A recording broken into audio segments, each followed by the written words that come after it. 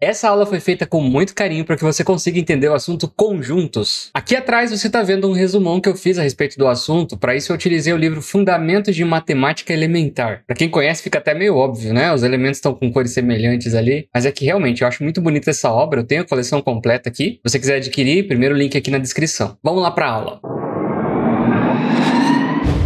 Ah, esse PDF aqui ele também está na descrição, tá? Primeiro link da descrição é o PDF. Algo que é comum o professor de matemática fazer nas aulas de conjuntos é pedir para que os alunos determinem o que é um conjunto. Define aí, o que é conjunto?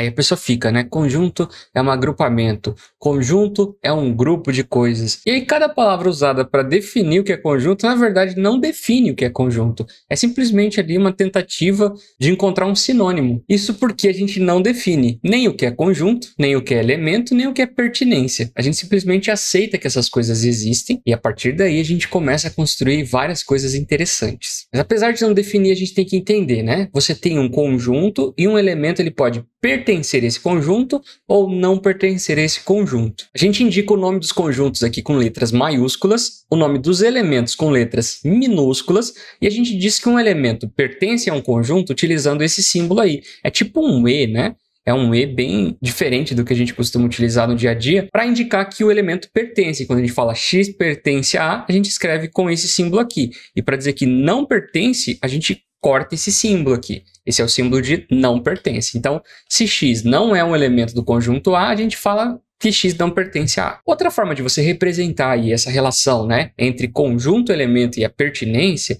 é utilizando diagramas. Quando a gente faz esse diagrama, a gente está dizendo assim, ó, esse aqui é o conjunto A, pertence a esse conjunto aqui o A e o B a gente coloca esse pontinho e a letra minúscula. E não pertence a esse conjunto A o elemento D. Aqui do lado esquerdo está escrito A pertence, B pertence a A e D não pertence a A. Beleza? É outra forma de você representar aí a questão da pertinência. Para descrever um conjunto, ou seja, falar sobre os elementos que pertencem a esse conjunto, a gente pode citar cada um desses elementos ou a gente pode colocar ali uma propriedade, descrever essa propriedade. Por exemplo, ali, ó, descrição por citação. A gente pode colocar A, E, I, O, U. Colocamos todas as vogais. Então, o conjunto A é o conjunto das vogais. Esse jeito de descrever aqui é por citação. A gente pode descrever também por propriedade fazendo da seguinte forma, ó. Você tem o conjunto A igual. Nota que sempre a gente está usando essas chaves, ó. Quando você tem chaves, você está indicando que tem um conjunto.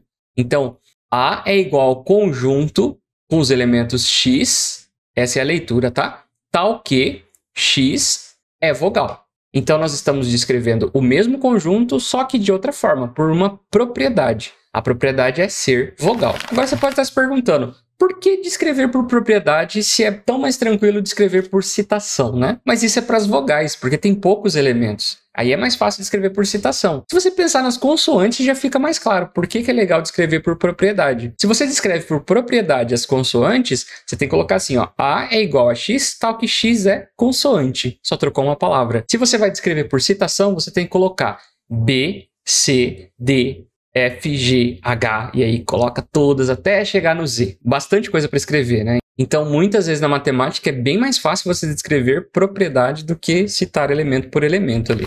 E agora vamos descrever aqui conjunto unitário, vazio e universo.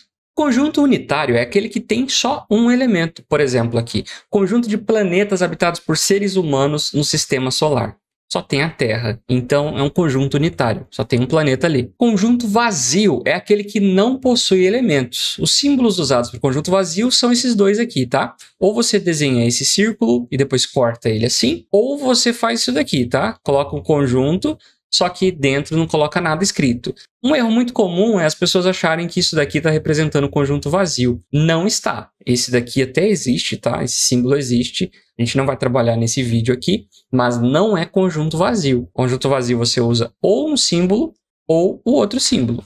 Vamos pegar um exemplo aqui de conjunto vazio? Pensa comigo, ó. Conjunto de números ímpares múltiplos de 2. É um conjunto vazio não existe múltiplos de 2 que sejam ímpares. A gente poderia pensar em vários exemplos. Você consegue citar algum? Escreve aqui nos comentários. E agora a definição de conjunto universo. Olha só que bonito isso. Ó.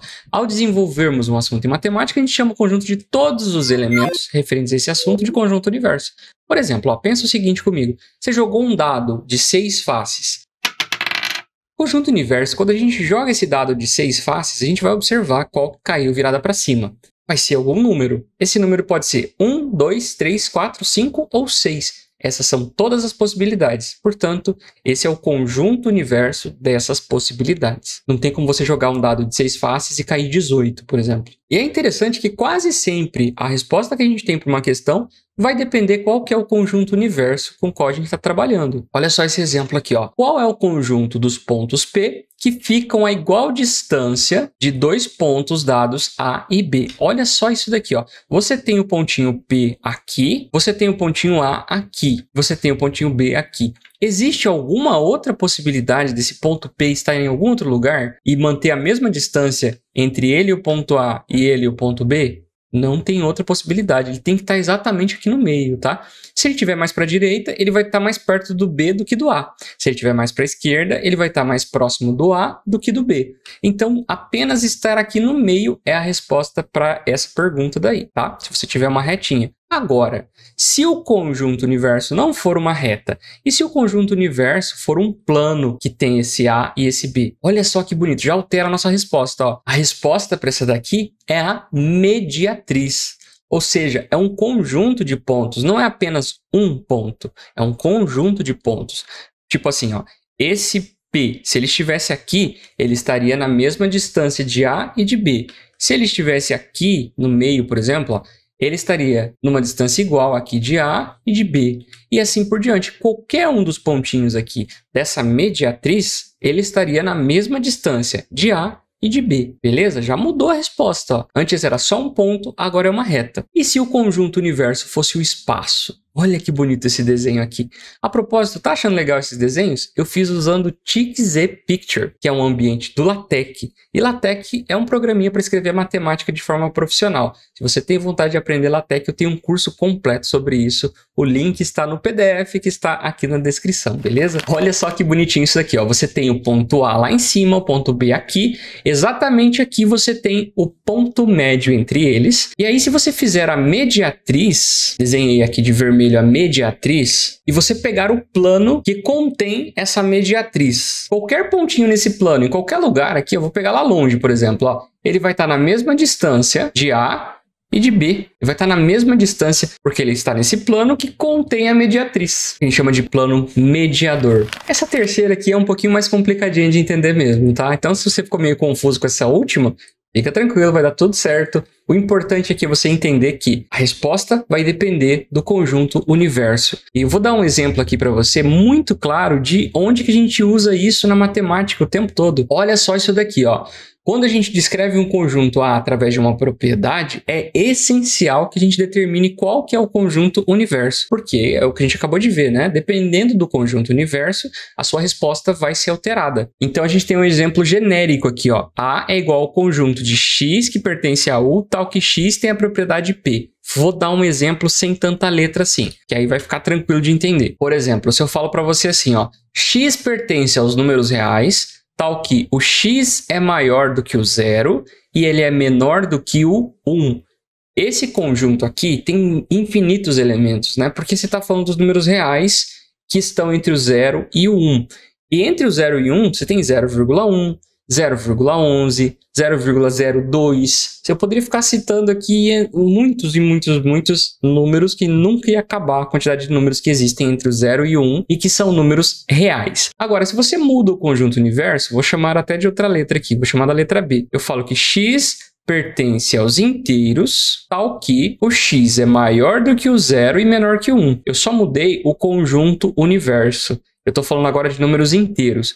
Se você olhar o 0 e o 1, quantos números inteiros existem entre esses dois, que não seja nem o 0 nem o 1? Se você disse que não tem, é exatamente isso, tá? Não tem números inteiros entre o 0 e o 1. Tem infinitos números reais, né? Infinitos racionais e irracionais. Agora, inteiro, não tem nenhum ali dentro. Poderia dizer que esse B é o conjunto vazio, por exemplo. Então, a parte mais importante que eu quero que você guarde aqui do final é essa, tá? Depende do conjunto universo. Espero que o restante tenha ficado claro para ti. Se você me ouviu até aqui, provavelmente você gostou dessa aula, então me ajuda, por favor. Eu preciso da sua ajuda para continuar aqui no YouTube. Como que você faz isso? Clicando no like, se inscrevendo para não perder os próximos vídeos e enviando esse vídeo aqui para sua turma. Isso me ajuda demais, você não faz ideia do quanto. E ajuda as pessoas também, né? Elas vão ficar gratas por você estar mandando esse vídeo para elas. Além disso, tem outros vários vídeos aqui nessa playlist resolvendo questões envolvendo conjuntos. Então dá uma conferida no restante da playlist. Se ficou qualquer dúvida, é só deixar aqui nos comentários que eu vou responder essas dúvidas, seja nos comentários, seja fazendo um novo vídeo aqui para essa playlist.